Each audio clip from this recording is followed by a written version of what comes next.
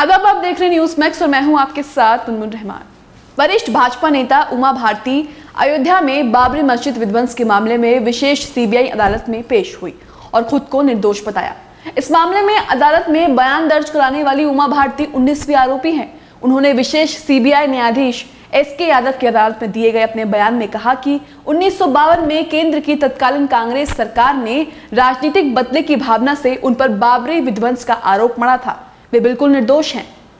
विशेष CBI अदालत ने 6 दिसंबर उन्नीस सौ बावन को अयोध्या में बाबरी मस्जिद विध्वंस के मामले में 32 आरोपियों के बयान दर्ज कर रही है। इस मामले में भाजपा नेता और पूर्व उप प्रधानमंत्री लाल कृष्ण आडवाणी, उत्तर प्रदेश के पूर्व मुख्यमंत्री कल्याण सिंह और पूर्व केंद्रीय मंत्री मुरली मनोहर जोशी का बयान दर्ज होना अभी बाकी है। उमा भारती ने कहा कि तत्कालीन केंद्र सरकार ने बाबरी विध्वंस मामले में अपने राजनीतिक हितों को साधने के लिए उनके तथा अन्य लोगों के खिलाफ मुकदमा दर्ज किया था। सभी को राजनीतिक दबाव में गलत तरीके से फंसाया जा रहा है।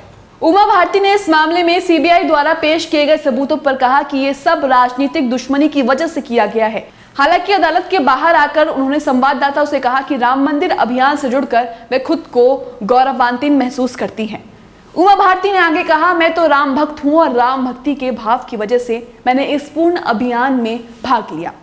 इसके लिए मैं हमेशा खुद को गौरवशाली मानती हूँ।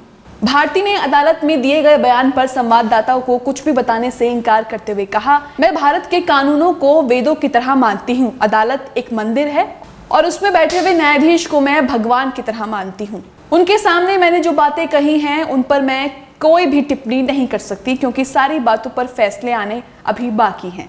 मैंने अदालत में जो भी कहा, उसके बारे में मैं आपको कुछ नहीं बताऊँगी।